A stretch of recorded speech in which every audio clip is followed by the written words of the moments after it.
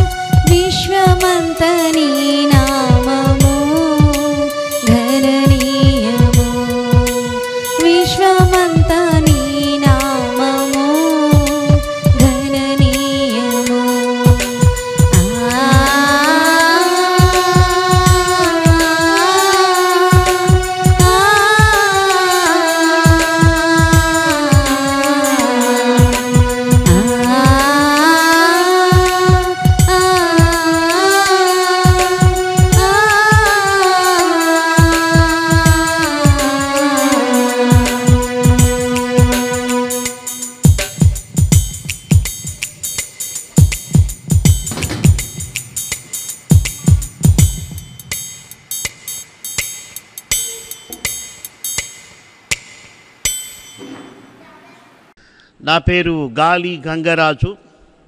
మా సొంత ఊరు హిందూపురం అనంతపురం జిల్లా.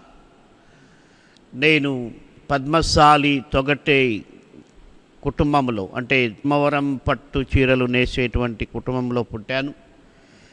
చిన్నప్పటి నుంచి మా తండ్రి గారు పంచాక్షరి మంత్రం నేర్పించి అది కులదైవం అని చెప్పారు. కాబట్టి చిన్న వయసు నుంచి ఆ యొక్క పంచాక్షరి మంత్రాన్ని జపిస్తూ ఆ భక్తిలో పెరిగాను.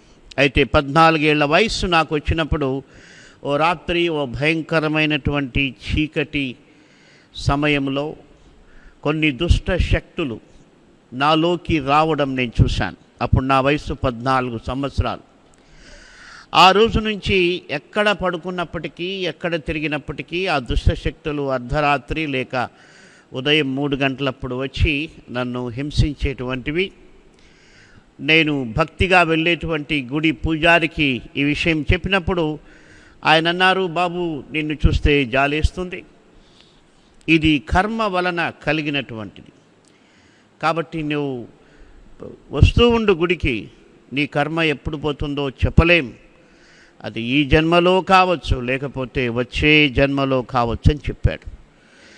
ఆయన చెప్పిన మాటలకు నేను చాలా నిరుత్సాహపడ్డాను. ఎందుకంటే నిరీక్షణ లేనటువంటి పరిష్కారము దొరకనటువంటి సమాధానం నేను విని చాలా కృంగిపోయి చాలా చెడు అలవాట్లకి ఆ చిన్న వయసు నుంచి బానిస అయిపోయి బాధ మర్చిపోవడానికి గంజాయి సారాయి మత్తుగా ఉంటూ చెడు సహవాసంలో ఒక దొంగల గుంపులో ఒక పేకాట క్లబ్బులో అన్ని రకాలుగా కూడా భ్రష్టుడైపోవడం జరిగింది. ఒక్క మాటలో చెప్పాలంటే ఇది క్రీస్తుకు ముందు చెడిపోయినటువంటి జీవితం. అలాగున్నప్పుడు ఒకరోజు ఒక వ్యక్తి ఆయన నాకు పాత పరిచయస్తుడే. ఆయన ఒకప్పుడు నాతో పాటు క్లబ్లో అన్ని అలవాట్లు కలిగిన వాడే సో ఆయన కనిపించినప్పుడు రెగ్యులర్గా మేము సిగరెట్లు తాగేవాళ్ళు కాబట్టి ఆయనకు నేను సిగరెట్ ఆఫర్ చేశాను. అప్పుడు ఆయన అన్నాడు నేను ఇంతకాలం నామకార్థ క్రైస్తవునిగా బ్రతికాను. అయితే ఈ మధ్యనే నేను మారు మనస్సు పొందాను. ఏసయ్య నా జీవితం మార్చాడు. నేను ఇప్పుడు ఏ చెడుల వాటు నాకు లేదన్నాడు. చాలా ఆశ్చర్యపోయాను. అంటే ఒక మనిషి జీవితాన్ని మార్చే దేవుడు ఉన్నాడని నేను ఎప్పుడు వినలేదు. ఆయన నాకు సువార్త చెప్పినప్పుడు ఒక్క విషయం నా హృదయాన్ని తాకింది ఏంటంటే ఈ యేసు ప్రభు అందరి పాపాలని ఆయన పైన వేసుకొని చనిపోయి తిరిగి లేచాడు. కాబట్టి ఆయన నమ్ముకుంటే ఆయన నిన్ను బాగు చేస్తాడని ఆయన చెప్పాడు. మత గర్వం అనండి కుల గర్వం అనండి. జీవితం అంత దౌర్భాగ్య స్థితిలో ఉన్నప్పటికీ నేను క్రైస్తవ్యాన్ని నమ్మను అని ఆయన్ను ఎదిరించి మాట్లాడి ఆయన చాలా భక్తిపరుడు. నేను ఆయన్ని తృణీకరించిన నెమ్మదిగా ప్రార్థన చేసుకొని వెళ్ళిపోతూ ఒక మాట చెప్పాడు. ఈ యేసు ప్రభువు నిన్ను రక్షించుటకు శక్తిమంతుడు అని చెప్పాడు. ఆయన వెళ్ళిపోయాడు కానీ ఆ మాట నాకు పదే పదే వినిపిస్తోంది. ఆ రాత్రి ఆలోచన చేశాను. ప్రార్థించలేదు. ఆయన ఆ మాట చెప్పాడు కాబట్టి ఇంతవరకు అన్ని దేవతలను మనం ప్రార్థన చేశాం. చాలామంది మాంత్రికుల దగ్గరికి వెళ్ళాను. చాలా మరి ఎన్నెన్ని మార్గాలు ఉన్నాయో అన్నీ చూసేసాను ఒక యేసును తప్ప. అప్పటి నా వయస్సు దాదాపు ఇరవై సంవత్సరాలు గురించి వినలేదు. I'm talking about nineteen eighties పంతొమ్మిది వందల ఎనభై. అయితే ఆ రాత్రి ఆలోచన చేశాను యేసు ప్రభు నన్ను బాగు చేయగలడా? అని ఆలోచిస్తున్నప్పుడు ఒక గొప్ప వెలుగులో ప్రభు నాకు తన హస్తాలు చాపి నేను నిన్ను బాగు చేస్తానన్నాడు. చాలా ఆశ్చర్యపోయాను. దిగ్గున లేచి ఏంటి నేను ఎవరి అయినా నేను ఎప్పుడు ప్రార్థన చేయలేదు అనుకున్నాను. మరి యేసుప్రభు అని అర్థమైంది ఎందుకంటే అప్పుడే యేసుప్రభు గురించి విన్నాను కాబట్టి. మరి ఆయన దగ్గరకు వెళ్ళి చెప్పాను ఇలాగ నువ్వు ప్రభు గురించి చెప్పావు ఏసయ్య నాకు కనిపించాడు ఆయన నన్ను బాగు చేస్తానని దర్శనం చూశానంటే అప్పుడు ఆయన ఒక బైబిల్ ఇచ్చాడు Gideons Bible New Testament. So Bible చదువుతూ ఉన్నాను. యేసుప్రభు దయాలు వెళ్ళగొట్టేటువంటి సందర్భాలు చాలా ఉన్నాయి బైబిల్లో. ఉదాహరణకి బహుశా నేను మార్కు సువార్త చదువుతున్నాను అనుకుంటున్నాను ఐదవ అధ్యాయంలో యేసుప్రభును చూచినటువంటి ఆ యొక్క దయాలు ఇంకా యేసు దూరంగా ఉండగానే సర్వోన్నతుడైన దేవుని కుమారుడా మమ్మను బాధించుటకు నువ్వు ఎందుకు వచ్చావని అవి ప్రాధేయపడ్డం. అది అలాంటి సంఘటన చదువుతున్నప్పుడు నాలో ఉన్నటువంటి దయాలు దుష్టశక్తులు యేసు ప్రభు యొక్క వాక్యంను బట్టి భయపడినట్టు నాకు బాగా అర్థమైందంటే నా గుండెలో నా హృదయంలో ఏదో గొప్ప అలజడి పారిపోతున్నట్టుగా దుష్టశక్తులు పారిపోతున్నట్టుగా అనుభూతి కలిగింది. ఆ విధంగా మొట్టమొదటిసారి యేసు ప్రభు సత్యదేవుడని ఆయనలో శక్తి ఉందని ఆయనకు దయాలు భయపడతాయని నమ్మాను. ఆ తర్వాత కొంతకాలం మరి అన్ని దేవతల్ని ప్రార్థన చేశాను. అయితే ప్రయోజనం ఏమి నాకు కనిపించలేదు. అయితే ఒక రోజున యేసు ప్రభు స్వయంగా ఆయన వాక్యమును ప్రత్యక్షపరిచాడు. యోహాను స్వార్థ పద్నాలుగు ఆరు నేనే మార్గమును సత్యమును జీవమును నా ద్వారానే తప్ప ఎవడును తండ్రి ఎద్దుకు రాడని ఆయన సెలవిచ్చిన మాట నా జీవితాన్ని మార్చింది. అంతకుముందు అన్నీ చేసేవాడిని అయితే ఆ మాట నా జీవితాన్ని మార్చి పంతొమ్మిది వందల ఎనభై ఆగస్టు నెల ముప్పై ఒకటవ తేదీ నా జీవితాన్ని ప్రభువుకు సమర్పించి ఆయన మాత్రమే నా పాపముల కొరకు చనిపోయి తిరిగి లేచాడని ఆయన ద్వారానే పాప క్షమాపణ కలుగుతుందని నా పాపములు ఒప్పుకొని ప్రార్థన చేశాను. అంతే నా జీవితం మారిపోయింది. ఉదయం లేచినప్పుడు మరి ఎలాంటి చెడు వ్యసనాలపైన మనసు పోయేది కాదు. అంతకుముందు లేస్తూనే గంజాయి తాగాలి సారాయి కొట్టుకెళ్ళాలి. ఇలాంటి దైనందిన జీవితం. అయితే యేసునే ఎప్పుడైతే ప్రార్థన చేశానో నాకు వాటిపైన ఆశ దేవుడు తీసేశాడు. ఆయనకి మహిమ కలుగునుగాక. అలాగున ప్రభు నన్ను రక్షించినప్పుడు ఇంకా ఆయన అద్భుతంగా నన్ను చెడు సహవాసం నుంచి దూరపరిచాడు. ఎందుకంటే ఆ రోజుల్లో మా స్టేట్లో బహుశా దేశంలోనూ ఉన్నాయో లేదో నాకు తెలియదు కానీ మా ఊర్లో అయితే నైట్ కాలేజెస్ అప్పటికి లేవు. కాబట్టి ఒక నైట్ డ్యూటీ చేసేటువంటి ఒక కంపెనీలో చేరి డే టైం కాలేజీకి వెళ్ళాను. అద్భుతంగా చెడు సహవాసాలకి ఆ ప్రభు నన్ను దూరం చేశాడు. ఆ యొక్క సంఘ సహవాసం దేవుడిచ్చాడు. అలాగ ప్రభు నన్ను రక్షించి ఆయన కృపచేత నన్ను దీవించాడు. ఇక్కడ ఒక చిన్న విషయం చెప్పి నేను వాక్యంలోకి వెళ్తాను. ఒక్కొక్కరి జీవితంలో ప్రభు ఒక్కొక్కరిని ఒక్కొక్క విధంగా ఆయన సంధిస్తాడు. ఆయన నన్ను ఇలాగున ఆయన కృపచేత సంధించి ఆయన నాకు ఇచ్చినటువంటి గొప్ప వరం ఏంటంటే ఆయన్ను నమ్మిన నాటి నుండి ఆ యొక్క వాక్యాలు కంఠాపాఠం చేయడం ప్రభు నాకు సహాయం చేశాడు. ఒక సంఘటన వలన అలాగ జరిగింది. నేను దయాల నుంచి విడుదల పొందాను కాబట్టి తొంభై ఒకటవ కీర్తన చదివి పడుకోవడం కొంత ధైర్యం ఇచ్చేటువంటిది. అయితే మా తల్లిగారు నన్ను మళ్ళీ ఇంట్లోకి తీసుకున్నారు. నేను ఇంట్లో లేను చాలా కాలం. మరి నా డ్యూటీ నైట్ ఒంటి గంటకు ముగిసింది. ఇంటికి వెళ్ళే లోపల రెండు గంటలు. మరి లైట్ వేశాను బైబిల్ చదవడానికి. తొంభై ఒకటో కీర్తన చదువుకుందామని. అంతే మా తల్లిగారు హిందువురాలు కాబట్టి ఆమె చాలా గట్టిగా వరిచి ఆమెకు లైట్ ఉంటే నిద్ర రాదు. అందుకని ఆమె వచ్చి నువ్వు ఆ మతంలో చేరి మా పరువు తీసావు ఇప్పుడు రాత్రిపూట లైట్ వేసి మా నిద్ర తీస్తున్నావని ఆమె చాలా కోపంగా వచ్చి లైట్ ఆఫ్ చేశారు. ఆ రాత్రి ఆలోచన చేశాను. అరే ఇప్పుడు చదువుకోకుండా పడుకుంటే భయంగా ఉంది. చదవాలంటే మా తల్లిగారు కోప్పడుతున్నారు. అప్పుడు మొట్టమొదటిసారి నా జీవితంలో ఒక ప్రేరేపణ కలిగింది. రేపు ఉదయం లేచిన తర్వాత ఈ తొంభై ఒకటవ కీర్తన కంఠాపాఠం చేస్తే రాత్రిపూట లైట్ లేకపోయినా నేను మోకరించి కీర్తన చెప్పుకోవచ్చని నాకు తలంపు ప్రభు ఇచ్చాడు. అలాగ మొట్టమొదటిసారి కంఠాపాఠం అంటే నా తల్లి పెట్టిన శ్రమ నా జీవితానికి ఒక గొప్ప వరంగా ప్రభు మార్చాడు. అలాగ నా కంఠాపాఠం చేయడం జరిగింది. మరి దేవుని యొక్క మహాకృప వలన మరి ఐదు వేల వాక్యాలు ఇంగ్లీష్ భాషలో చేయడానికి ప్రభు సహాయం చేశాడు. మరి తెలుగులో కూడా రెండు వేల ఐదు వందలు చేశాను. నాకు ఇంగ్లీష్ ఒక మొక్క వచ్చేది కాదు. అయితే ప్రభు ప్రేరేపణతో తప్పిపోయిన కుమారుని కథ లూకా పదహైదు చదివి మళ్ళీ ఇంగ్లీష్లో దాన్ని చదవడం. అలాగే తెలుగులో ఒక అధ్యాయం అదే అధ్యాయం ఇంగ్లీష్లో చదవడం వలన నేను కొంత ఇంగ్లీష్ నేర్చుకున్నాను. ఆ తర్వాత ఇంగ్లీష్లో ఎక్కువ వాక్యాలు కంటాపాఠం చేయడం వలన ప్రభు దయ చొప్పున నేను దాదాపు పదహైదు దేశాలకు వెళ్ళి ఇంగ్లీష్ భాషలో పరిచయం చేయడానికి ప్రభు సహాయం చేశాడు. మరి ఆయన యొక్క కృపచేత నూరు కీర్తనలు కంఠాపాఠం చేశాను. ఈ యొక్క ఐదు వేల లిస్టులో క్లుప్తంగా చెప్పడానికి నూరు కీర్తనలు నూట యాభై కీర్తనలు కానీ నూరు కీర్తనలు చేయటానికి ప్రభు సహాయం చేశాడు. అలాగే ముప్పై ఒక్క సామెతలు అలాగే యోహాను పత్రిక యాకో పత్రిక కొండ మీద ప్రసంగం ప్రకటన గ్రంథంలో చాలా అధ్యాయాలు. ఇలాగా ప్రభు దయవల్ల కంఠాపాఠం చేశాం. మరి శుభవార్త టీవీలో మేము చేసే పరిచర్య ఏంటంటే దేవుని వాక్యాన్ని కంఠాపాఠం చేయండి. దేవుని వాక్యం కరువయ్యే రోజు ఒకటి వస్తుంది. ఆ రోజున వాక్యం దొరకదని ఆమోసు భక్తుడు చెప్పాడు.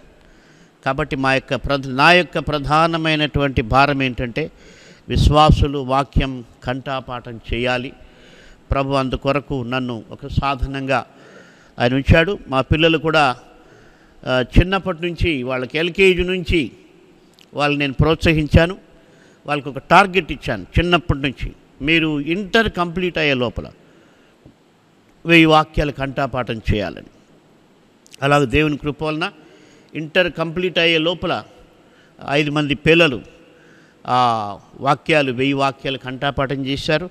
అలాగ చేయడం వలన మా పెద్దమ్మాయికి ఫస్ట్ టైమే ర్యాంక్ వచ్చి ఆమె ఎంబీబీఎస్ అయి తర్వాత ఎండి పిడియాట్రిక్స్ చేసింది. ఇంకొక అమ్మాయి ఎండిఎస్ మరి పెద్దబ్బాయి దేవుని సేవలో ఉన్నాడు డేవిడ్ కరుణాకర్. మీతో ఇంతకుముందు మాట్లాడాడు. కాబట్టి వాళ్ళందరూ చక్కగా చదువుకున్నారు. ఆయన ఎండి చేశాడు. అంటే ఎందుకు పిల్లల చేత వాక్యం కంఠాపాఠం చేయించాలంటే కేవలం తల్లిదండ్రులు వారి యొక్క అకాడమిక్ ఎడ్యుకేషన్ గురించి చాలా ప్రయాసపడుతుంటారు. ఏ కాలేజీలో చదివిస్తే మేలు ఎక్కడ చదివితే ఎంసెట్ వస్తుందని. అయితే నా జీవితంలో నా అనుభవం ఏంటంటే నేను మంచి స్కూళ్ళల్లో బిడ్డలను చదివించలేకపోయాను. అయితే వాళ్ళకి వాక్యం నేర్పించాను. ఆ వాక్యం యొక్క శక్తి వారికి అకాడమిక్ నాలెడ్జ్ కూడా ఇచ్చిందని నా నమ్మకం. కాబట్టి ఈ మాటలు వింటున్నవారు మీ పిల్లలకు వాక్యం నేర్పించండి. అది వారికి మీరిచ్చే అతి శ్రేష్టమైనటువంటి ఆస్తి. అయితే మీ పిల్లలకు మీరు నేర్పియాలంటే మీరు నేర్చుకోవాలి. అందుకే ద్వితీయోపదేశ కాండంలో అన్నాడు నువ్వు పండుకున్నప్పుడు లేచినప్పుడు నడుస్తున్నప్పుడు నీ బిడ్డలతో వాక్యాన్ని గురించి ముచ్చటించమన్నాడు.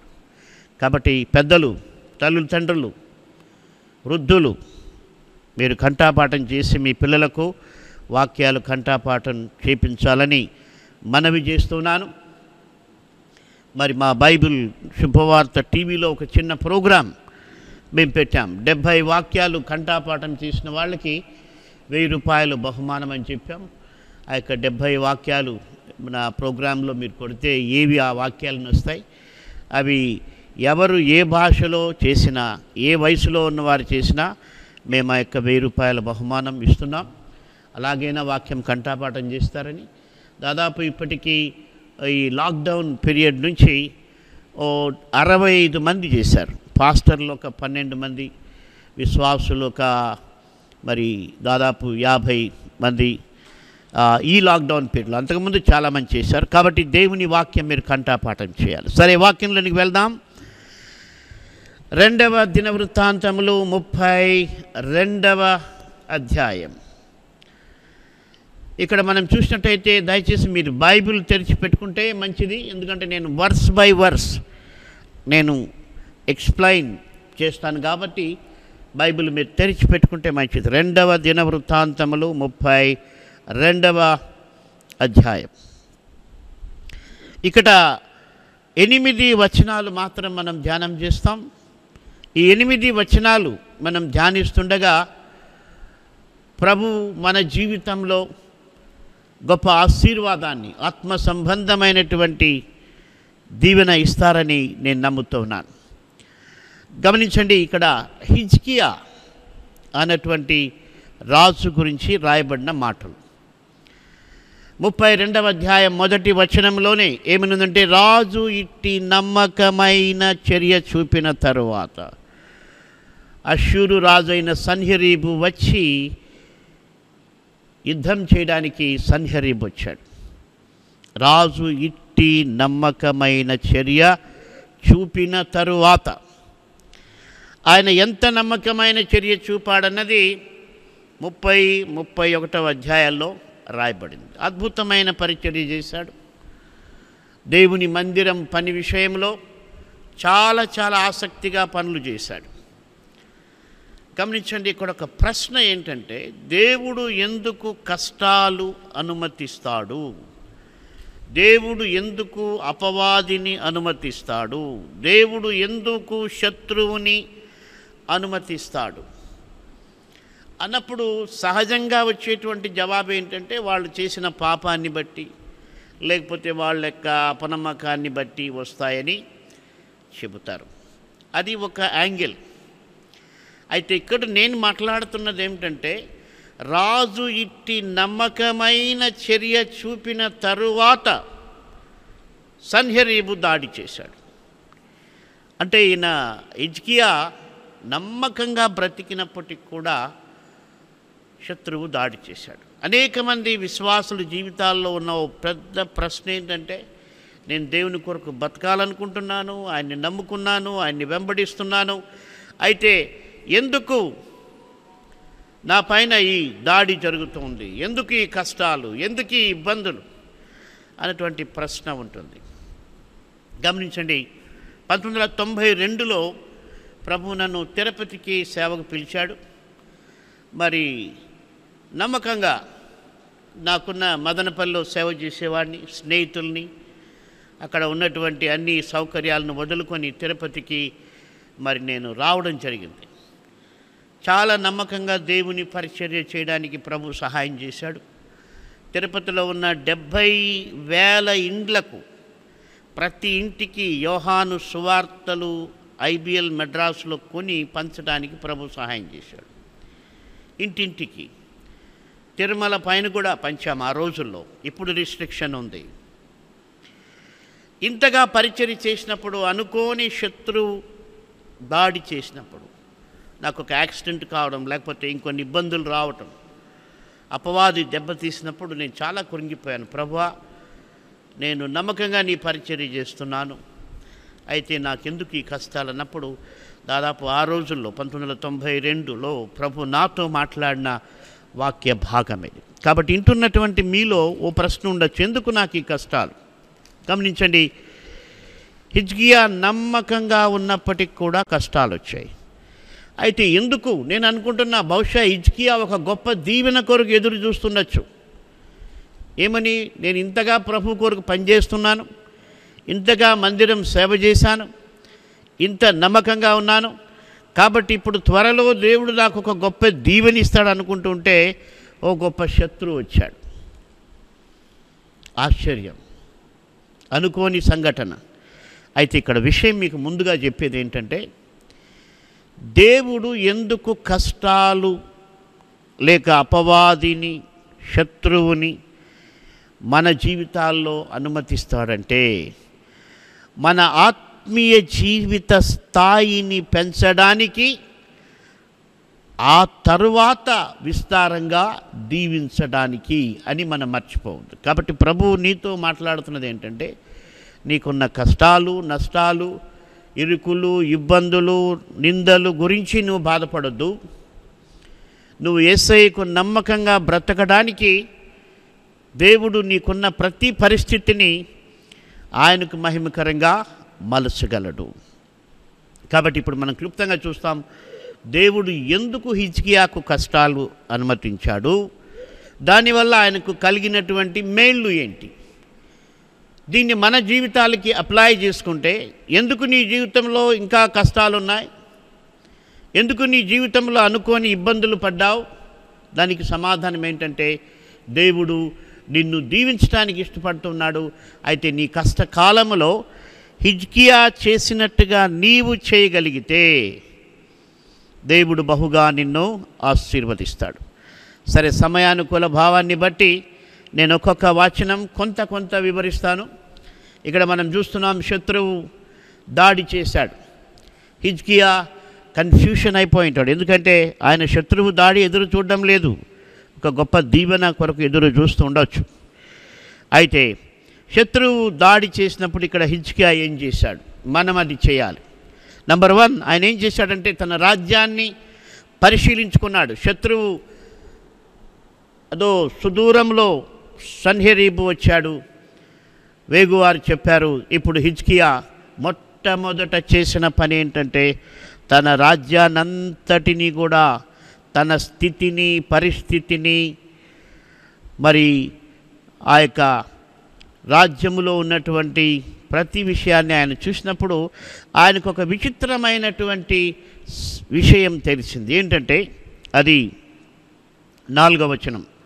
నేను కొంచెం ముందుకెళ్తున్నా. అంటే మెయిన్ కాంటెంట్ మట్టుకు చెప్తున్నా. సో శత్రువు మన పైన దాడి చేసినప్పుడు మనకున్న కష్టాలు ఇరుకులు ఇబ్బందులు ఉన్నప్పుడు మనం చేయాల్సిన మొట్టమొదటి పని ఏంటంటే నా జీవితంలో నేను ఎక్కడైనా పొరపాటు చేస్తున్నానా? నా జీవితంలో నేను చేసిన పొరపాటు వలన శత్రువుకు నేను అవకాశం ఇస్తున్నానా? అని పరిశీలన చేసుకోవాలి. ఇజ్కియా తన రాజ్యం పరిశీలన చేసుకున్నాడు. చూస్తే ఒక విచిత్రమైన సంఘటన ఏంటంటే ఆ యొక్క విస్తారమైనటువంటి జలములు తన రాజ్యములో నుండి సన్హరీబు ఉన్న చోటికి వెళుతూ ఉన్నాయి. నాలుగవ వచనం బహుజనులు పోగే అశ్వరు రాజులు రానేలా విస్తారమైన జలము వారికి దొరకనేలా అనుకొని ఊటలన్నిటినీ దేశ మధ్యము గుండా పారుచున్న కాలువను అడ్డిరి. ఇక్కడ జరిగిన పరిస్థితి ఏంటంటే తన ద్వారా శత్రువు బలపడే అవకాశం ఉంది తన రాజ్యములో నుండి వెళ్ళేటువంటి నీళ్ళు శత్రువుకి అందుబాటులో ఉన్నాయి. కాబట్టి ఆ నీళ్ళు తాగి వాడు ఇంకా బలపడి నా మీదకి వస్తాడని గ్రహించి వెంటనే ఆ ఊటలను అడ్డినాడు. గమనించండి మన జీవితంలో మనం కష్టాలు ఇరుకులు ఇబ్బందులు వీటి గురించి ఎక్కువ ఆలోచన చేయకూడదు. వీటికి నేను ఎక్కడైనా అవకాశం ఇచ్చానా? నేను ఎక్కడైనా పొరపాటు చేశానా? లేక నా జీవితంలో ఇంకేదైనా సరి చేసుకోవాల్సి ఉందా? ప్రభు నీతో మాట్లాడతాడు. ఆ రోజుల్లో నేను పరిశీలన చేసుకున్నాను. నాకు అనిపించింది ఎక్కువ వ్యర్థమైన మాటలు లోక వార్తలు మాట్లాడుతున్నట్టు నాకు పరిశీలన తెలింది ప్రభు దగ్గర క్షమాపణ అడిగాను. ఎందుకంటే నా నోటి మాటలు ఒక భక్తుడు అన్నాడు నీవు పలికేటువంటి మాటల వలన అంటే వాక్యానికి వ్యతిరేకంగా నీవు పలికేటువంటి మాటల వలన అపవాది బలం పొందుతాడు నీ విశ్వాసం బలహీనమవుతుందన్నాడు.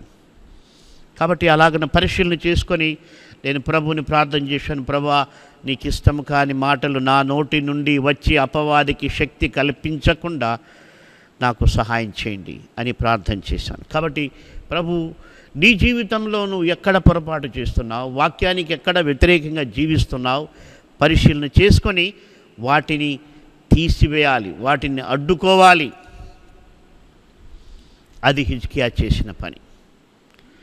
గమనించండి ఇక్కడ నేను ప్రతి సందర్భంలో కూడా ఈ మాట మీరు గుర్తు చేసుకోవాలి. ఏమిటంటే ఒకవేళ సన్హెరీబు దాడి చేయకపోయి ఉంటే హిజ్కియా రాజ్యములోని నీళ్ళు అలాగే వ్యర్థమైపోయిండేటివి. ఇక్కడ మనం చూస్తున్నాం వాళ్ళు అడ్డుకున్నారు. అడ్డుకున్నప్పుడు మనం చూసినట్టయితే నెక్స్ట్ వచనం ప్రారంభం చాలా ఆశ్చర్యం నెక్స్ట్ వచనం అద్భుతమైనటువంటి వాక్యం పరిశుద్ధ గ్రంథం ఇది పరిశుద్ధాత్మ దేవుడు రాయించిన గ్రంథం ఇక్కడ నెక్స్ట్ వచనం ఏమి స్టార్ట్ అవుతుందంటే వెంటనే వారు ఆ యొక్క నీళ్ళ ఊటలను అడ్డుకున్నారు కాలువను అడ్డినారు నాలుగవ వచనం చివర ఐదవ వచనం ప్రారంభం ఏంటంటే మరియు రాజు ధైర్యము తెచ్చుకొని. ఎంత అద్భుతమైనటువంటి విషయం. గమనించండి భయపడతా ఉన్నాడు. ఈడు ఎప్పుడొచ్చాడు ఎక్కడొచ్చాడు ఎప్పుడు మీద పడతాడు ఎప్పుడు నశించిపోతామన్నటువంటి భయం ఉంది ఆయనలోన. అయితే దైవ చిత్తానుసారంగా తన జీవితంలో తన రాజ్యములో ఉన్నటువంటి పొరపాటును సరి చేసుకున్నప్పుడు ఆ నీళ్ళ ఊటలను అడ్డినప్పుడు ఆయనకు వెంటనే ధైర్యం వచ్చింది. గమనించండి నీ జీవితంలో ఎందుకు ధైర్యం లేదంటే ఎక్కడో నీవు దేవుని ప్రేమలో ఎదగడం లేదు. దేవునికి భయభక్తులు కలిగి ఉంటే సామెతల గ్రంథం పద్నాలుగు ఇరవై ఆరు ఇరవై ఏడు యహోవాయందు భయభక్తులు కలిగి ఉండుట బహు ధైర్యము పుట్టించును. కాబట్టి మనకు దేవుడు ఎందుకు సన్హరేపును పంపాడంటే ఈయన్ను బాగు చేయడానికి. నీకెందుకు కష్టాలు ఉన్నాయంటే నువ్వు ఆత్మీయంగా దేవుని వైపు చూడడానికి. ఎంతకాలము బ్రతికినంత కాలం ఈ లోక విషయాల్లో పడి చనిపోయి నీ ఆత్మను పోగొట్టుకోకుండా దేవుడు నీ కష్టాలు పెట్టాడు. అట్లయినా నీవు పరిశీలన చేసుకొని ఆయనకు సమీపం అవుతావని. కాబట్టి ఇక్కడ హిజ్కియా మరి ఆ యొక్క నీటి ఊటను అడ్డుకున్నాడు. నేను హిస్టరీ చూశాను కొంత. మరి యేసు ప్రభు ఒక గుడ్డివాన్ని స్వస్థపరుస్తాడు. ఆ యొక్క కోనేరు వెళ్ళి కడుక్కోమంటాడు బురద పూసి.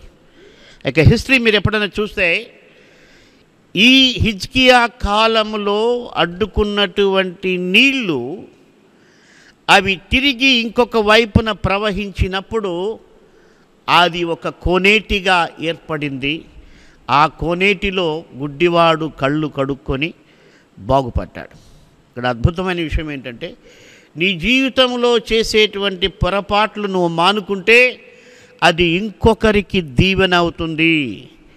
వ్యర్థంగా పోతున్నటువంటి ఆ యొక్క నీటి ఊటలను హిజ్కియా అడ్డుకున్నప్పుడు ఆ నీటి ఊటలు మళ్ళించబడి ఆ యొక్క కోనేటిగా మ కోనేట్లోకి కట్టబడి అక్కడికి వెళ్ళాయి. మరి యేసుప్రభు ఒక గుడ్డివాడిని వెళ్ళి ఆ కోనేరులో కడుక్కోమన్నాడు. కాబట్టి మన జీవితంలో పొరపాటు చేస్తే మనం నష్టపోతాం. అయితే ఆ పొరపాటును సరి చేసుకుంటే మనం బాగుపడి ఇతరులకు కూడా మేలు చేస్తాం. సరే నేను నెక్స్ట్ నెక్స్ట్ ఏం జరిగింది? మరియు రాజు ధైర్యం తెచ్చుకొని పాడైన గోడ యావత్తు కట్టించి గమనించండి ఇప్పుడు ఈ నీళ్ళు పోయేది చూసుకోలే ఆయన. ఒక గోడ పాడైపోయింది దాన్ని పట్టించుకోలే. సన్హెరీబు వచ్చినప్పుడే అవన్నీ చూస్తున్నాడు. గమనించండి మన జీవితంలో శత్రువు దాడి చేసినప్పుడు మనం పరిశీలించుకోవాలన్నది దేవుని యొక్క చిత్తం. మరి ఇజ్కియా చూశాడు తన ఇంటి తన యొక్క ప్రాక రాజ్యం యొక్క ప్రాకారపు గోడ పాడైపోయింది. గమనించండి బాగు చేసేదానికి అందరి డబ్బులు లేకుండా కాదు టైం లేదు పోస్ట్ పోన్ వాయిదాలు. మన జీవితంలో మనం కొరిపాట్లు పొరపాట్లు సరి చేసుకోవడానికి మనకు చేతనవుతుంది కానీ చేసుకోం వాయిదా వేస్తాం. అయితే ఇక్కడ హిజ్కియా చూశాడు శత్రువు వచ్చాడు కాబట్టి మన ప్రాకారపు గోడలు ఎక్కడన్నా పాడైపోయినాయంటే అప్పుడు కనిపించింది ఒక గోడ. దాన్ని ఆయన బాగు చేశాడు. ఇది ప్రార్థనా గోడని ప్రభు ధ్యానిస్తున్నప్పుడు నాకు తెలియచేశాడు. నీ ప్రార్థన అన్న గోడ పాడైపోయింది. నువ్వన్నీ బాగు చేస్తున్నావు హిజ్కియా కూడా పెద్ద పెద్ద సేవలు చేశాడు పెద్ద పెద్ద ప్రసంగాలు కూడా చేసి ఉండొచ్చు. పెద్ద పెద్ద పోస్టులు ఆయనకు ఉన్నాయి కాకపోతే అసలు విషయం ఏంటంటే వ్యక్తిగత ప్రార్థన అన్నది పాడైపోయింది. ఈనాడు కూడా అంతే మనుషులు చాలా చాలా చాలా పనులు చేస్తుంటారు. వాళ్ళు చేసేటివన్నీ మంచివే. సంఘంలో పెద్దల బాధ్యతలన్నీ కూడా మంచివే. ఉండాలి అవసరం మనకు. సంఘ పెద్దలు కావాలి సంఘ పాస్టర్లు కావాలి అందరూ కావాలి. కానీ వారు అసలైన అనుబంధం దేవునితో కలిగి ఉండక లేకపోతే మిగిలిందంతా వ్యర్థం. కాబట్టి మన అసలైనటువంటి వ్యక్తిగత అనుబంధం యేసు క్రీస్తు ప్రభువులో ఆయన రక్తములో కడుగబడినటువంటి మారు మనస్సు కలిగినటువంటి అనుభవం ఆయన్ను హత్తుకొని జీవించేటువంటి అనుభవం చాలా ప్రాముఖ్యమైంది. అది మొదట్లో అందరికీ బాగానే ఉంటుంది. యేసుప్రభు కొత్తలో చాలా అద్భుతంగా బైబిల్ చదువుతారు ప్రార్థన చేస్తారు. ఇంకా కొంతమంది చెప్తారు మేము కొండలకు వెళ్ళాం అడవుల్లో ప్రార్థన చేశాం. మంచిదే ఇప్పుడేముంది పరిస్థితి.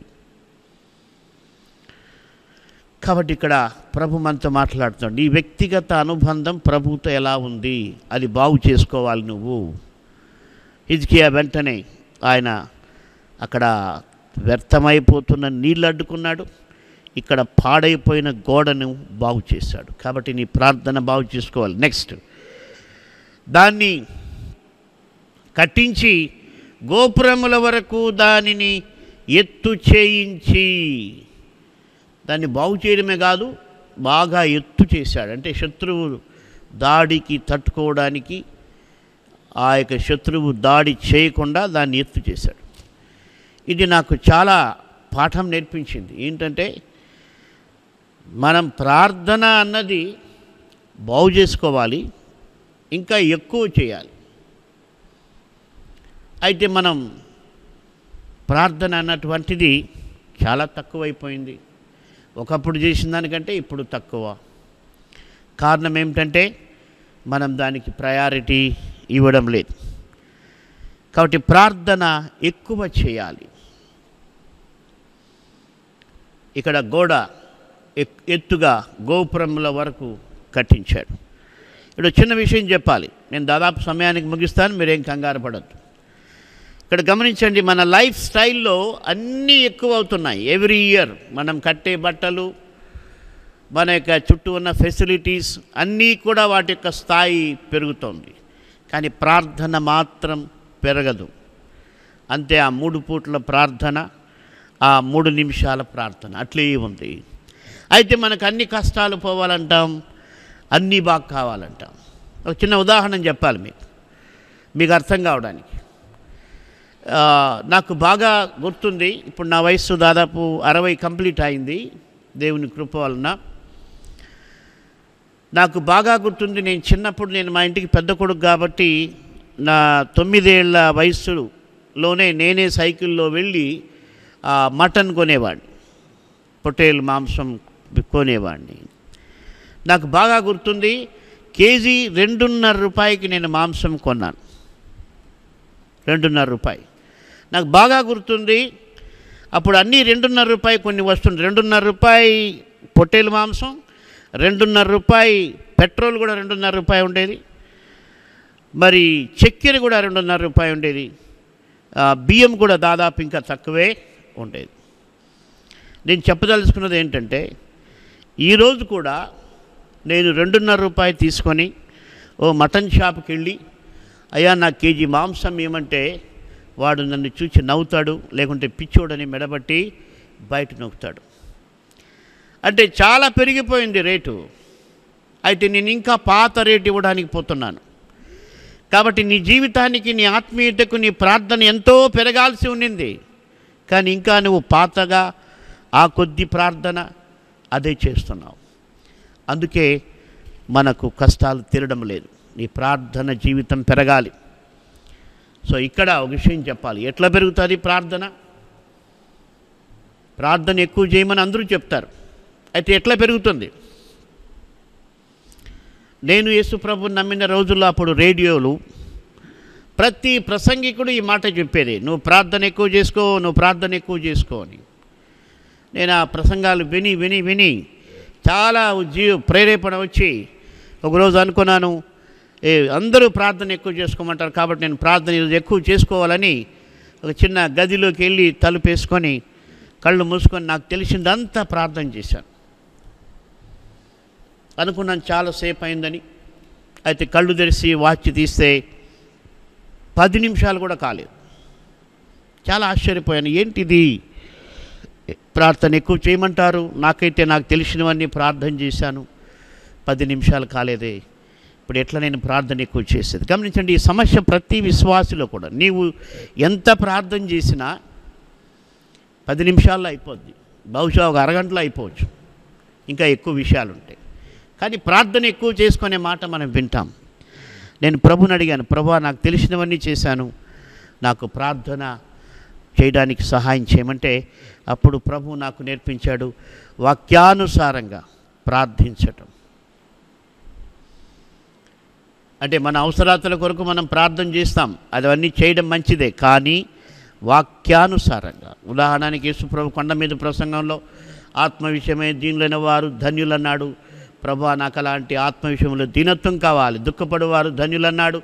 ప్రభా నేను ఆత్మల కొరకు దుఃఖపడే మనసు కావాలి. సాత్వికులు ధన్యులన్నారు ప్రభా నాకు సాత్వికమైన మనసు కావాలి.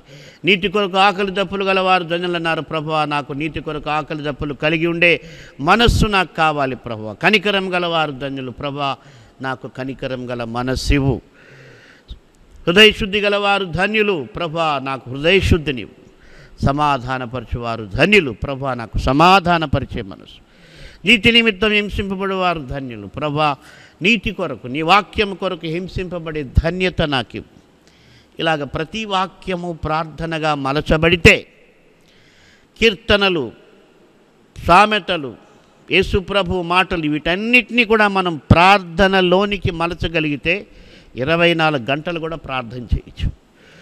కాబట్టి మీరు వాక్యం చదవండి. వాక్యం చదవకుండా వాక్యానుసారంగా ప్రార్థన చేయకుండా ఎవరు ఎక్కువ ప్రార్థన చేయలేరు. ఎక్కువ ప్రార్థన చేయకపోతే మన అవసరతలు తీరవు. కాబట్టి ప్రార్థన ఎక్కువ చేయడానికి నేను ప్రోత్సహించేది ఏంటంటే వాక్యం చదవండి. కొంతమంది నన్ను ప్రశ్నిస్తారు ఏంది ఎప్పుడు కూడా మీరు ఆ, ఎక్కువ వాక్యం అంటారంటే ఇది నేను చెప్పిన మాట కాదు. యేసుప్రభు చెప్పాడు నా యందు మీరును మీ యందు నా మాటలను నిలిచి ఉండిన ఎడల మీకేది ఇష్టమో అడగమన్నాడు. మరి మనం నిజంగా యేసుప్రభులో ఉండాలి? ఆయన మాటలు మన హృదయంలో ఉండాలి. ఇది యేసుప్రభు మనల్ని అడిగిన రిక్వెస్ట్. అయితే మనకు ఆ రిక్వెస్ట్ అవసరంలా ఏ మనకి ఏది ఇష్టమైతే అది అడగడం. గమనించండి యేసుప్రభు ఆ కండిషన్ ఎందుకు పెట్టాడంటే ఎప్పుడైతే మనం ఆయన ఎందు ఆయన మాటలు మన ఎందు నిలిచి ఉంటాయో అప్పుడే మనము దేవునికి ఇష్టమైన ప్రార్థన చేయగలము. లేకపోతే మన ఇష్టానుసారంగా అడుగుతాం ఇస్రాయేల్ వాళ్ళకి ఇష్టమైంది అడిగాడు బైబిల్ చెప్తుంది ఆయన వారికి వారు కోరినవి ఆయన వారికి అనుగ్రహించను కానీ వారి ప్రాణములకు క్షీణత కలిగాను. ఆత్మీయ జీవితాలు ఎందుకు క్షీణత పొందాయంటే మీకు ఇష్టం వచ్చినవి అడిగారు. మీకు ఇష్టం వచ్చిన అమ్మాయిని పెళ్ళి చేసుకోవాలని అనుకున్నారు మీకు ఇష్టం వచ్చిన అబ్బాయిని పెళ్ళి చేసుకోవాలనుకున్నారు. మీకు ఇష్టం వచ్చిన మరి దొంగ వ్యాపారాలు చేశారు. అన్యాయం చేశారు. కాబట్టి ఆత్మీయంగా ఎదగలేని పరిస్థితి. కాబట్టి ఆయన మాటలు మన హృదయంలో ఉండాలి. వాక్యం చదవాలి. ఇక్కడ ఒక మాట చెప్పాలి నేను. నేను ముగిస్తాను. తొందరపడద్దు. మనకు ఎవరు నేర్పించారు? రోజుకొక్కసారి బైబిల్ చదవడం. చాలా ఆశ్చర్యం వేస్తుంది నాకు. ఎవడు నేర్పించాడు ఇది? నూటికి తొంభై మంది క్రైస్తవులు ఒక చదువుతారండి బైబిల్. నాకు అర్థం కాదు. మూడు పూటల శరీరానికి ఆహారం పెడతాం. కొంతమంది ఐదు పూటలు తినేవాళ్ళు ఉన్నారు. అయితే బైబిల్ ఒక్కసారి చదువుతారు. ఎంత అన్యాయం? మన ఆత్మకు మనం ఎంత ద్రోహం చేస్తున్నాం కదా? మనం ఊహించుకుందాం. నీవు నీ ఫ్రెండ్ ఒక ఇంటికి వెళ్ళారు. నీ ఫ్రెండ్కి వాళ్ళు మూడు పూటలు అన్నం పెట్టి నీకు ఒక పూట అన్నం పెడితే నీ కడుపు కాలి. ఎంత బాధపడతావు? కాబట్టి మనలో శరీరం ఉంది ఆత్మ ఉంది. నువ్వు శరీరానికి మూడు పూటలు అన్నం పెడుతున్నావు ఆత్మకు ఒక్క పూట కూడా సరిగ్గా పెట్టవు. అది కూడా పరిగెత్తిపోతూ క్యాలెండర్ వాక్యం చదువుతావు. లేకుంటే బైబిల్ తీసి ఎక్కడో ఓ చోట చదువుతావు. కాబట్టి నీ ఆత్మకు ఆహారం కావాలి. నీ జీవితం నీ ప్రార్థన బాగుపడాలంటే నీ ప్రార్థన ఎక్కువ కావాలంటే నీ వాక్యం తెలుసుకోవాలి. అప్పుడే నీ జీవితంలో దేవుడు గొప్ప దీవెనిస్తాడు. సరే నేను ముందుకు వెళ్తాను. టైంని బట్టి. ఆ తర్వాత ఏం చేశాడు? గోపురం వరకు దాన్ని ఎత్తు చేయించి బయట మరి యొక్క గోడను కట్టించి అంటే ఆయన ఇంకా ప్రొటెక్షన్ ఇంకా ప్రొటెక్షన్ ఇంకా ప్రొటెక్షన్ అక్కడ అక్కడ బాహ్య సంబంధమైనటువంటి డిఫెన్స్ చూస్తున్నాం. యేసుప్రభు మనల్ని కూడా ఏం కుదంటే మన ఆత్మీయ జీవితాన్ని మనం భద్రపరచుకోవాలి. యోహాన్ సువార్త యోహాను రాసిన పత్రిక ఐదవ అధ్యాయం పంతొమ్మిదవ వచనంలో ఇవ్వబడిందంటే దేవుని మూలముగా పుట్టినవాడు తన్ను తాను భద్రపరచుకొను గనుక దుష్టుడు వానిని ముట్టడు. గమనించండి నువ్వు దేవుని మూలంగా పుడితే నీకొక బాధ్యత ఉంది నిన్ను నీవు భద్రపరచుకోవాలి. నిన్ను భద్రపరచుకోవాలంటే వాక్యం ఉండాలి ప్రార్థన ఉండాలి వాక్యానుసారమైన జీవితం ఉండాలి అప్పుడు నువ్వు భద్రపరచుకుంటావు. ఒకవేళ సైతాన్ దాడి చేస్తే దేవుడు రెండంతల దీవెనిస్తాడు. కంగారేం లేదు. సరే ముందుకు వెళ్దాం అక్కడ ఏం చేస్తున్నాడంటే మరి మిల్లో దుర్గమును కట్టించి దావీదు పట్టణములో మిల్లో దుర్గమును బాగు చేయించండి దుర్గం కూడా పాడైపోయింది. ఈ దుర్గం దేనికి సాదృశ్యం అంటే కుటుంబానికి. కుటుంబ ప్రార్థన పాడైపోయింది. కుటుంబం అంతా కలిసి టీవీ చూస్తాం. కుటుంబం అంతా కలిసి రాజకీయాలు మాట్లాడతారు. కుటుంబం అంతా కలిసి సంఘ రాజకీయాలు మాట్లాడతారు. అయితే కుటుంబ ప్రార్థన చేయరు. దానికి టైం అయిపోతుంది. చేసిన లాస్ట్లో ఏదో ముగింపు ప్రార్థన చిన్న ప్రార్థన ఒకటి చేసేస్తారు. ఇది దుర్గం మిల్లో దుర్గం పాడైపోయింది. ఈ మిల్లో దుర్గము దావీదు ఇస్రాయేల్ మీద పట్టాభిషిక్తునిగా చే చేయబడినప్పుడు దావీదు చాలా జాగ్రత్త పరుడై దేవుని జ్ఞానము కలిగి శత్రువు దాడి చేస్తే ఒక బలమైన దుర్గం అవసరమని ఈ యొక్క మిల్లో దుర్గాన్ని కట్టించాడు ఆయన కాలంలో.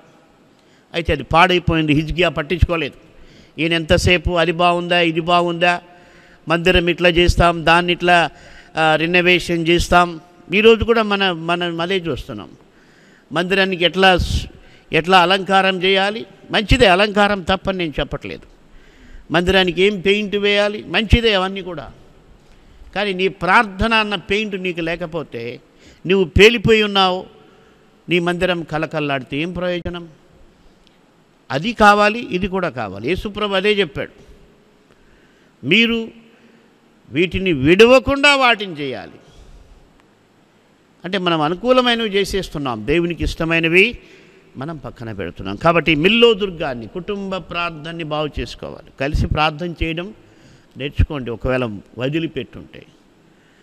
ఆ తర్వాత వాక్యం చదవండి. ఒక అధ్యాయం చదవండి. కుటుంబం అందరూ కూడా కా వాక్యాలు మా మా ఇంట్లో పిల్లలతో వాక్యాలు కంఠాపాఠం చేయించినవి ప్రతిరోజు వాళ్ళతో చెప్పమంటాం. కాబట్టి you should spend some time FC పత్రికలో పౌలు రాస్తూ ఆత్మ కలిగించు ఐక్యత అన్నాడు. అంటే ఆత్మ కలిగించే ఐక్యత ఏంటంటే ఆయన సన్నిధిలో మనుషులు కూర్చొని ప్రార్థన చేస్తే ఆయన సన్నిధి ద్వారా ఆయన ఆత్మ ద్వారా కలిగేటువంటి ఐక్యతది. ఎందుకు సంఘ పెద్దల్లో ఐక్యత లేదు? ఎందుకు కుటుంబంలో ఐక్యత లేదంటే వాళ్ళు కలిసి ప్రార్థన చేయరు. అన్ని పనులు చేస్తారు ప్రార్థన చేయరు. అందుకే ఆ యొక్క ఐక్యత లేదు. కాబట్టి మిల్లో దుర్గం నీ కుటుంబ ప్రార్థనని బాగు చేసుకోవాలి. ఇక చివరిది నేను ముగిస్తాను. ఇప్పుడేం చేస్తున్నాడంటే ఈయన ఇవన్నీ చేసిన తర్వాత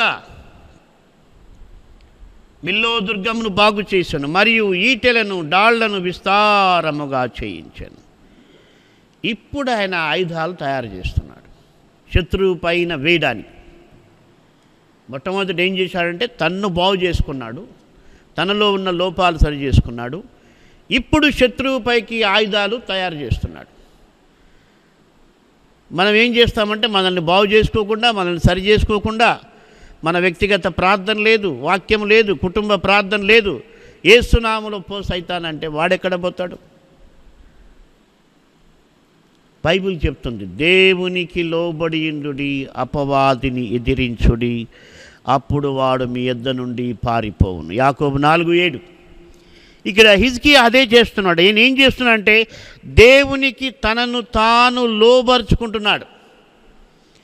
అపవాదిని ఎదిరించడానికి ముందుగా శత్రువైన సన్హరీబుని ఎదిరించడానికి ముందుగా హిజ్కియా తనను తాను దేవునికి లోబరుచుకుంటున్నాడు. ఎక్కడ లోపముందో దాన్ని సరి చేసుకుంటున్నాడు. ఎక్కడ పాడైపోయిందో దాన్ని బాగు చేస్తున్నాడు. ఎక్కడ ఎత్తు చేసుకోవాలో దాన్ని ఎత్తు చేస్తున్నాడు. తన దుర్గాన్ని బాగు చేస్తున్నాడు. ఆ తర్వాత ఇప్పుడు అపవాదిని ఎదిరించటానికి ఆయుధాలు తయారు చేసుకున్నాడు. కాబట్టి ప్రియులారా మరి ఇక్కడితో నేను ముగిస్తాను. సమయం పాటించాలి కాబట్టి ఇంకా ముందుకెళ్ళచ్చు కానీ ఈ ఇంతవరకు మనం నేర్చుకోగలిగితే ఆయన హిజ్కియా చేసినట్టుగా తనలో ఉన్న పొరపాటును బాగు చేసుకున్నప్పుడు ధైర్యం వచ్చింది. పాడైపోయిన గోడ బాగు చేశాడు దాన్ని ఎత్తు చేశాడు కొత్త గోడ కట్టించాడు మెల్లో దుర్గాన్ని బాగు చేశాడు. ఆ తరువాత ఆయుధాలు తయారు చేసుకొని ఒక చిన్న ప్రసంగం చేశాడు. అది చదివి ముగిస్తాం మనం. ఇవన్నీ చేసిన తర్వాత ఇప్పుడు ఒక మాట చెప్తున్నాడు ఆయన. ఈ ఆయుధాలన్నీ తయారు చేసి మరియు ఈటెలను డాళ్ళను విస్తారముగా చేయించను. ఆరవచనం జనుల మీద సైన్యాధిపతులను నియమించి పట్టణపు గుమ్మములకు పోవు రాజ వీధిలోనికి వారిని తన ఎద్దుకు రప్పించి వారిని ఇలాగు హెచ్చరిక చేశాను మీరు దిగులు పడకుడి ధైర్యము విడువకుడి. అశ్షురు రాజుకైనను అతనితో కూడిన సైన్యమంతటికైనను మీరు భయపడవద్దు విస్మయముందవద్దు. అతనికి కలిగిన సహాయము కంటే ఎక్కువ సహాయము మనకు కలదు. మాంస సంబంధమైన బాహువే అతనికి అండా. మనకు సహాయము చేయుటకును మన యుద్ధములను జరిగించుటకును మన దేవుడైన యహోవా మనకు తోడుగా ఉన్నాడని చెప్పగా ఈ చిన్న ప్రసంగం చేశాడంతే. నెక్స్ట్ ఏం చెప్పబడుతుందంటే అక్కడ చెప్పగా జనులు యూదారాజైన హిజ్కియా చెప్పిన మాటల యందో నమ్మిక ఉంచిరి కాబట్టి ఇక్కడ ఆయన యొక్క ప్రాక్టికల్ లైఫ్ని ప్రజలు చూశారు. కాబట్టి ఆయన చెప్పిన మాటలను ఎందు వాళ్ళు నమ్మికుంచారు కాబట్టి క్రిస్టియన్ లైఫ్ అనేది ఏంటంటే ప్రాక్టికల్ లైఫ్. నేను చేసే ప్రసంగాన్ని బట్టి కాదు. నా వ్యక్తిగత జీవితాన్ని ప్రజలు చూస్తారు. కాబట్టి నేను చేసేదంతా వాక్యానుసారంగా ఉన్నప్పుడు నేను చెప్పే మాటలు జనులు నమ్ముతారు. ఒకసారి అనుకుందాం ఈయన నీళ్ళు అడ్డుకోలే గోడ బాగు చేయలే గోడ ఎత్తు చేయలే మిల్లో దుర్గం బాగు చేయలే ఆయుధాలు చేసుకోలే ఇప్పుడు వచ్చి ప్రసంగం చేశాడు అనుకుంది ఏం భయపడద్దంటండి పిచ్చోడా నీతో ఎవరు ఉంటాడా అని పారిపోతారు. కాబట్టి మనం వాక్యానుసారమైన జీవితం. మరి చాలా శత్రువు దాడి చేశాడు కలవరం పడి ఉండొచ్చు మొదట్లో. అయితే నేను అనుకుంటాను ఇచ్కియా ఒకవేళ ప్రశ్నించి ఉండొచ్చు ప్రభా నాకెందుకు ఈ కష్టం తెచ్చావు? అని ప్రశ్నించుకొని ఉంటాడు. మనమైన అంతే. అయితే శత్రువు దాడి ఆ యొక్క ముగిసిపోయింది. అద్భుతంగా దేవుడు మరి ఆ యొక్క సన్హరీబును తరిమేశాడు. అసలు యుద్ధమే జరగలేదు. అద్భుతమైన విజయం దేవుడు హిజ్కియాకి ఇచ్చాడు. అప్పుడు ఒక్కసారి హిజ్కియా ఈ యొక్క దాడి గురించి ఆలోచన చేస్తే దేవునికి ఎంతో కృతజ్ఞత చెల్లించుంటాడు. అవును ప్రభా శత్రువు దాడికి నేను కలవరపడ్డాను దిగజారాను చాలా కృంగిపోయాను నీ పైన సనుక్కున్నాను కొంతమంది సనుక్కుంటారు అయితే ఒకసారి వెనక్కి చూస్తే అవును శత్రువు దాడి చేయడం నాకు మేలైంది. ఎందుకంటే నా నీళ్ళు అడ్డుకున్నా గోడ బాగు చేశా గోడని ఎత్తు చేశా కొత్త గోడ కట్టించుకున్నా మిల్లో దుర్గాన్ని బాగు చేశా ఆయుధాలు రెడీ చేసుకున్నా. అందుకనే భక్తుడు అన్నాడు నూట పంతొమ్మిదో కీర్తన డెబ్భై ఒకట వచనంలో నేను నీ కట్టడలను గైకొనున్నట్లు శ్రమ నొంది ఇందుట నాకు మేలాయెను. కాబట్టి కష్టాలన్నీ కూడా మనకు మేలయ్యేట్టుగా దేవుడు చేయగలడు. నీ మట్టుకు నువ్వు ఏం చేయాలంటే నిన్ను పరిశీలించుకో ప్రభువులు పరిశీలించుకో వాక్యానుసారంగా నిన్ను సరిచేసుకో. దేవుడు క్షమించే సిద్ధ మనసు గలవాడు. సొసైటీలో మనుషుల కొరకు బతకద్దు దేవుని కొరకు బతుకు. దేవుడు నిన్ను నడిపిస్తాడు నీ తప్పులు సరిచేస్తాడు. మనం సరిచేయబడితే ధైర్యం వస్తుంది. యోబు గ్రంథంలో ఒక మాట ఉంది. Happy is the man whom God correct అన్నాడు. అది తెలుగులో నరుని దేవుడు గర్ధించు నరుడు ధన్యుడు అన్నాడు కానీ కానీ ఇంగ్లీష్లో ఏమంటాడంటే దేవుడు సరిచేయు మనుష్యుడు ధన్యుడు. అద్భుతమైన మాట. కాబట్టి మనం సరిచేయబడితే అదొక బ్లెస్డ్నెస్. ఇల్లు కట్టుకుంటే ఉద్యోగం వస్తే అవన్నీ బ్లెస్డ్నెస్ అనుకుంటారు మనుషులు. అవి సాధారణమైన లోకంలో కూడా అందరికీ ఉన్నాయి. మంచిదే అవి కాదని చెప్పట్లేదు నేను. కానీ నీవు సరిచేయబడడం దీవెనకరం. దేవుణ్ణి హత్తుకుని బ్రతకడం అందుకని నూట పంతొమ్మిదో కీర్తనలో అంటున్నాడు. ఆయన శాసనములను గైకొనుచు ఆయన మార్గములో నడుచు వారందరూ ధన్యులు. భక్తుడు అన్నాడు ఆహా నీ కట్టలను గైకొనున్నట్లు నా ప్రవర్తన స్థిరపడి నుండి నన్ను ఎంత మేలు. అది అద్భుతమైనటువంటి జీవితం. కాబట్టి మనం సరి చేసుకోవాలి ప్రార్థన చేసుకోవాలి.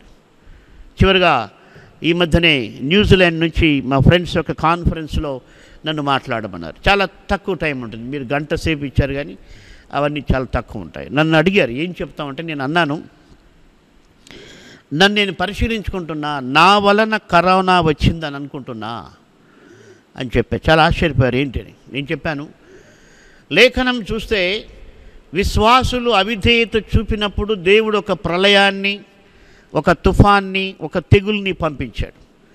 యోన అవిధేయత చూపించినప్పుడు సముద్రంలో అల్లకల్లోలమైంది. దావీదు జనసంఖ్యను లెక్కించినప్పుడు తెగులు పుట్టింది. కాబట్టి ఇక్కడ భావం ఏంటంటే విశ్వాసి తప్పు చేయడం అన్నటువంటిది. దేవునికి లోబడకపోవడం అన్నటువంటిది ఒక ప్రళయాన్ని తీసుకొచ్చే పరిస్థితి ఉంది. కాబట్టి దేవుని బిడ్డలు దేవునికి అంగీకారముగా జీవించకపోవడం వలన కూడా కరోనా వచ్చి వచ్చింది. అయితే అందరి గురించి మనకొద్దు. వ్యక్తిగతంగా మనల్ని మనం పరిశీలన చేసుకోవాలి. నన్ను నేను పరిశీలన చేసుకున్నాను నా వలన కరోనా వచ్చిందా? ఎక్కడైనా నేను దేవునికి అవిధేయత చూపించాను అన్నప్పుడు ప్రభు నాకు ఒక విషయం చూపించాడు. నేను ఐదు వేల వాక్యాలు కంఠాపాఠం చేసి దాదాపు కొన్ని ఏండ్లు అయింది. అవి రికార్డు చేసి యూట్యూబ్లో అప్లోడ్ చేస్తే పది మంది ఇన్స్పైర్ అవుతారని ఏండ్ల నుంచి ప్రేరేపణ. అయితే అస్సలు కుదరలేదు. అయితే కరోనా వచ్చింది ఇన్విటేషన్స్ లేవు సేవకు ఆహ్వానం లేదు. కాబట్టి ఇప్పుడు ఏం చేశానంటే దేవుని కృప వలన ఇప్పుడు ప్రతిరోజు కూర్చొని కంఠాపాఠం చేస్తున్నాను. దాదాపు రెండున్నర వెయ్యి వాక్యాలు అప్లోడ్ అయిపోయింది. ఇంకా అప్లోడ్ చేస్తాను నేనేమనుకుంటున్నానంటే నా కమిట్మెంట్ నేను చేయగలిగితే ఈ కరోనా వెళ్ళిపోతుందని నా నమ్మకం. కాబట్టి మీరు దేవునితో ఏం కమిట్ చేశారో? ఎక్కడ మీరు దేవునికి అవిధేయత చూపిస్తున్నారో అది మీరు సరి చేసుకోగలిగితే ఈ కరోనా వెళ్ళిపోతుంది. అయితే ఒకటి మనం ఏం చేయాలంటే ఆయన ఇష్టానుసారంగా మనం బ్రతకాలి. కాబట్టి యో నాకు తెలిసిపోయింది నా వలన కలిగిందని. ఎత్తి పడేయమన్నాడు. గమనించండి సముద్రంలో ఆయన ఇబ్బంది పడినప్పుడు ఆయన తిరిగి ఒక తీర్మానం చేశాడు. నేను మొక్కుకున్న మొక్కుబడులన్నీ నీకు చెల్లిస్తాను అని ప్రార్థన చేశాడు. ప్రార్థన చాలా ఉంది. అయితే ఈ మాట స్పెసిఫిక్గా మీరు చూడొచ్చు. అప్పుడు ఏమైందంటే దేవుడు ఆ యొక్క మత్స్యానికి చేపకు ఆజ్ఞ ఇస్తే అది నేలపైన ఆ యొక్క యోనాను కక్కేసింది కాబట్టి మనం సరిచేయబడినప్పుడు కష్టాలు పోతాయి కరోనా పోతుంది అన్నీ పోతాయి. కాబట్టి మన మట్టుకు మనం ఒకరి గురించొద్దు ఒకరి లోపాలు నువ్వు చెప్పొద్దు. ఒకరి లోపాలు నువ్వు విమర్శించొద్దు. నీ గురించి చూడు. యేసుప్రభు చెప్పాడు నీ కంటిలోనున్న దూలము నెంచక నీ సహోదరుని కంటిలోనున్న నలుసును చూచుట ఏలా వేషధారి మొదట నీ కంటిలోనున్న దూలమును తొలగించుకొనము. అప్పుడు నీ సహోదరుని కంటిలోనున్న నలుసును తీసివేయుటకు నీకు తేటగా కనబడను. లేకపోతే నీ కన్ను పోతుంది వాడి కన్ను పోతుంది. కాబట్టి సరి చేసుకుందాం ప్రభు వాక్యంలో. ఆయనకి ఇష్టానుసారంగా మనల్ని మనం మలుచుకుందాం. ఆయన మన మధ్యలో ఉన్నాడు. గమనించండి ఇలాంటి ఒక కాలం వచ్చింది. భవిష్యత్తులో వాక్యం అన్న కరువు అనే కాలం వస్తుంది. అప్పుడు వాక్యం దొరకదు. బైబిల్స్ ఉండవు. నెట్లో బైబిల్ మీకు దొరకదు. కాబట్టి కంఠాపాఠం చేయండి. ప్రభు వాక్యం కంఠాపాఠం చేయడం వలన అది మనల్ని సరిచేస్తుంది కాబట్టి ఎవరైనా మారు మనసు పొందని వాళ్ళుంటే ప్రభు నీతో మాట్లాడుతున్నాడు. నీ వల్లనే కరోనా వచ్చింది. నువ్వు మారు మనసు పొందాలి. మారు మనసు పొందిన వారితో ప్రభు చెప్తున్నాడు. నువ్వు వాక్యానుసారంగా బతకాలి. నీ ఇష్టానుసారంగా కాదు. హిజ్కి ఆయన అసలైన పనులన్నీ వదిలిపెట్టి చాలా చేశాడు. కాబట్టి నీ పనులన్నీ పక్కన పెట్టు. ఫస్ట్ ఇవి చేయి. దేవునికి ఇష్టమైనవి చెయ్యి అప్పుడు మిగిలిన పనులు చేయి. గమనించండి ఎప్పుడు మోసపోవద్దు. ఆయనకి ఇష్టమైనవి నువ్వు చేస్తూ మిగిలిన పనులు మీరు చేయాలి. ప్రార్థించుకుందాం. దయగల ప్రభా మిమ్మల్ని స్తుతిస్తూ ఉన్నాం. మీరు ఎంత నమ్మకమైన దేవుడు. మమ్మల్ని ప్రేమించి మమ్మల్ని రక్షించటానికి తండ్రి కుడి పార్శ్వమున కూర్చునుంట గొప్ప భాగ్యమని ఎంచుకొనక శిలువ మరణం వరకు ధరి తగ్గించుకొని దాసుని స్వరూపము ధరించుకొని మాకిచ్చిన గొప్ప రక్షణ కొరకు స్తోత్రములు. అల్పుడైన నాకు ఇచ్చిన గొప్ప రక్షణ కొరకు స్తోత్రములు. దయములు చేత నింపబడిన నా హృదయాన్ని మీ వాక్యము చేత నింపినందుకు మీ రక్తములో కడిగినందుకు మీ వాక్యముతో నింపినందుకు మీరు నడిపిస్తున్నందుకు మీ ఆత్మానుసారమైన వాక్యానుసారమైన జీవితంలో ఆశ పుట్టించినందుకు మీకు కృతజ్ఞతాస్తుతులు చెల్లిస్తున్నా. ఈ వాక్యం విన్నవారు రక్షణ లేనివారు రక్షణ పొందుటకు రక్షణ పొందినవారు ఇదిగో వారి జీవితంలో సరి చేసుకోవడానికి మీ వాక్యపు వెలుగులో నడుచుకోవడానికి మీ మహాకృప వీరితో ఉంచుమని ఈ వాక్యమును ప్రతి ఒక్కరూ మీకు మహిమ చెల్లించున్నట్లు సహాయము చేయమని ఏసు దయగల నామమున ప్రార్థిస్తున్నాము తండ్రి. ఆమెన్. తండ్రి దేవుని ప్రేమయు ప్రభుని యేసుక్రీస్తు యొక్క కృపయు పరిశుద్ధాత్మిక అన్యోన్య సహవాసము ఆయన చిత్తానుసారంగా జీవించుటకు ఆయన కృప మనకు అనుగ్రహించునుగాక. ఆమెన్.